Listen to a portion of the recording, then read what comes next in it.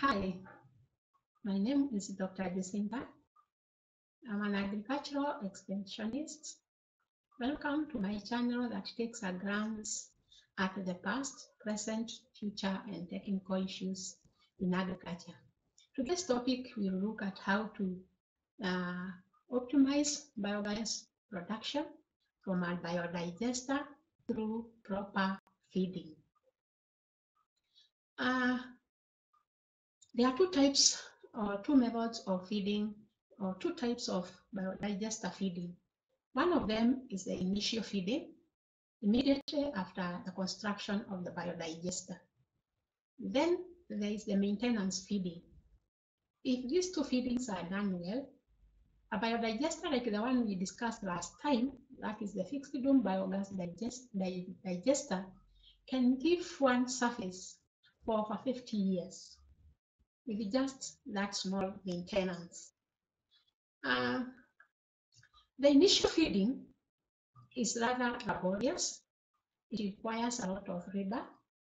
Uh, it requires uh, a lot of the feed material or the substrate that one is going to use for biogas production. Uh, for this purpose, I'll take cow dung as an example. Uh, and if you have constructed a biodigester, that is 12 cubic meters.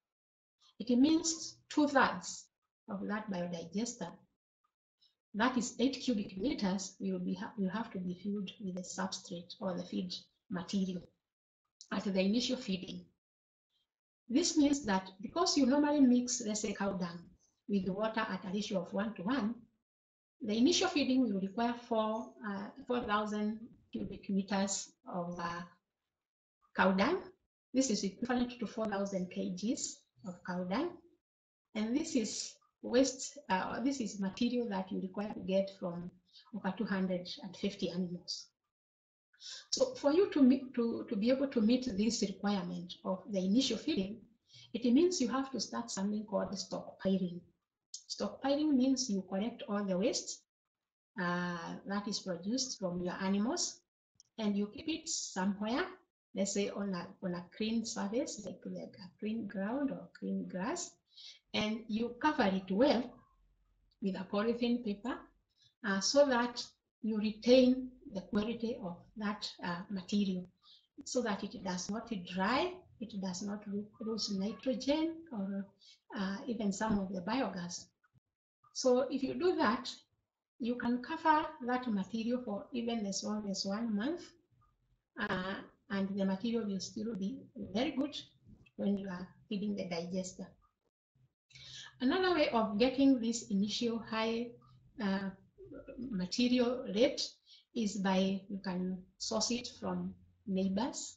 You can also source it from uh, large scale farms that produce a lot of uh, cow dung on a daily basis.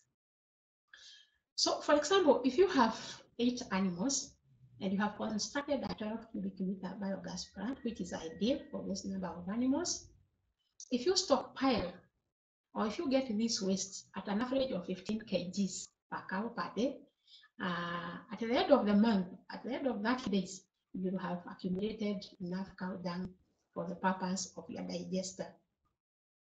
So um, the digester, as I have said, uh, the important thing is to stockpile. This is the grazing unit. This is the construction of the biogas unit that has started. This is the use point where the gas is going to be used.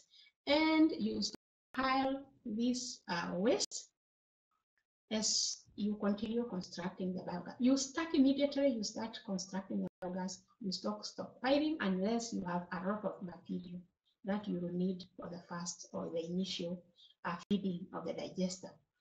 And if you do that well, you cover it well, it will lose, it will not lose uh, quality, nitrogen will not evaporate, and some other, uh, some some of the biogas. And at the time of feeding the digester, this material will be as good as new. And another thing that you have to remember is that feeding, the initial feeding, is laborious. It requires a lot of labor. It means it requires uh, to correct material from where you have stockpiled it.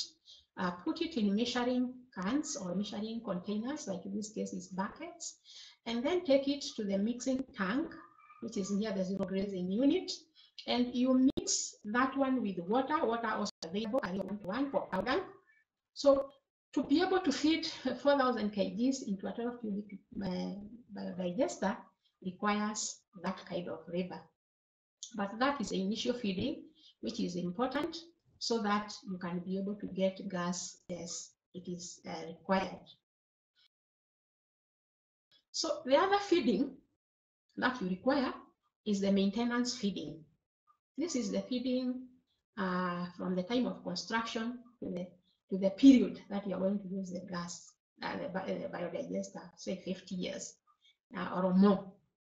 You need to feed it uh, continuously so that it can be able to give you gas because you need, it requires fresh material to produce biogas.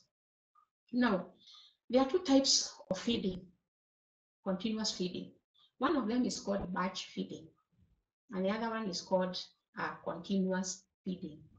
In batch feeding, it means that you will put the material, let's say the 4,000 cubic meters of uh, waste of cow dung in the biodigester, and you will keep on using the gas until it is over and then you can put more waste and you use it until it's over. That can take you about a month. But no, you need gas supply on a regular basis. If you do this there comes a time when you might not have gas. Uh, maybe because uh, the waste has uh, the, the material has been uh, used and now you need to uh, add more material fresh material so for you to have a continuous supply when you are having a batch biodigester, you need to either have a storage uh, uh, uh, tank or you can have two or more biodigesters so that when the one is about to be depleted, the other one takes over. So assuming that you have the 12 cubic meter biogas uh, uh, unit that I have talked about, we have to think of something called retention time. Retention time is the period that the waste uh, stays in the biodigester so that all of it is digested and all the gas is removed from that material. For cow dung, uh, the retention time is about 60 days. But it has been shown that 75% of the gas can be removed from the substrate, cow dung material, uh, within the first 30 days. So if you intend to use a batch, uh, batch uh, feeding, then it means for 30 days you can use uh, get 75% of the gas, and then you need to replenish uh, that digester. The other feeding is called continuous feeding. This is regular feeding of the biogas unit. You can do it daily, twice a day, weekly, uh, by, uh, bi-weekly, fortnightly. But if you go beyond a fortnight, then it stops being a continuous feeding and it becomes more or less a batch feeding. So to feed daily, you need to collect all the material that you require on a daily basis. For example, if, if the 12 cubic meter uh, unit, you require, you, it will produce about 4 meter cubed of gas per day. That means it is from eight animals because one animal, I said, then the animal can produce about 0.5 uh, cubic meter of gas. And therefore, you need to collect all the waste from the eight animals and feed it into the biogas unit. If you are not feeding daily and you need it to omit one day, or if you are going to feed weekly, all the materials still have to be collected and preserved the way we showed the preservation uh, during the initial feeding. So that when you feed it at that time, then you have all the waste to give you, or the other material to give you biogas. Note that the regularity is very important. If you decide to feed it daily, feed it daily. If you decide weekly, give it weekly, and so on. So the method of feeding will, uh, or the regularity will depend on the time available, labor uh, available, and, a lot, and all that. So how exactly do you feed a biogas unit?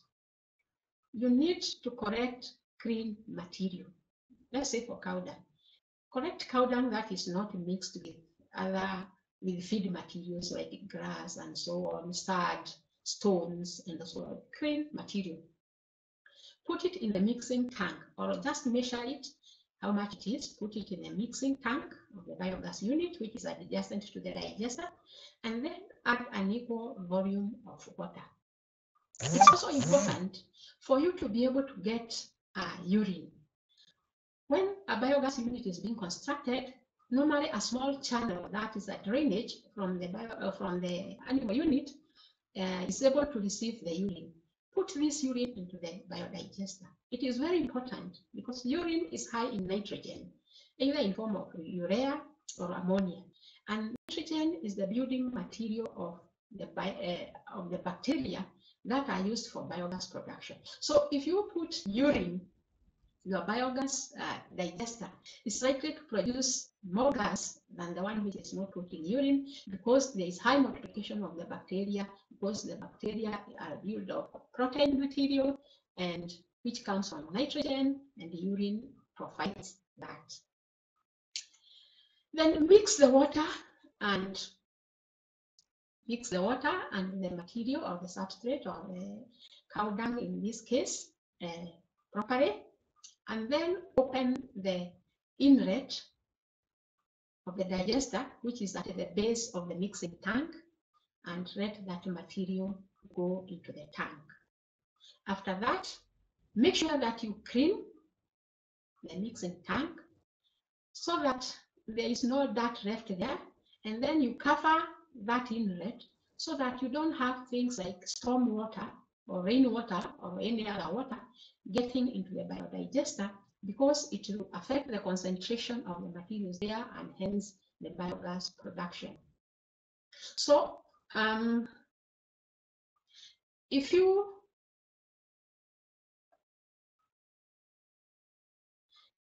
this is how uh, a zero grazing and the adjacent structures look like. This is part of the zero grazing unit. This is the connection channel to the urine receptor, and this is the mixing tank. Uh, you will find that the mixing tank, this is the base of the mixing tank.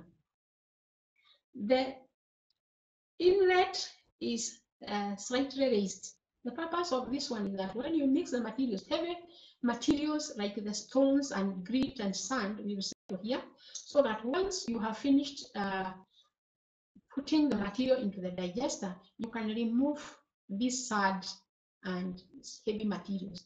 If you don't remove these heavy materials, they will be able to accumulate with the time and they will get into the digester.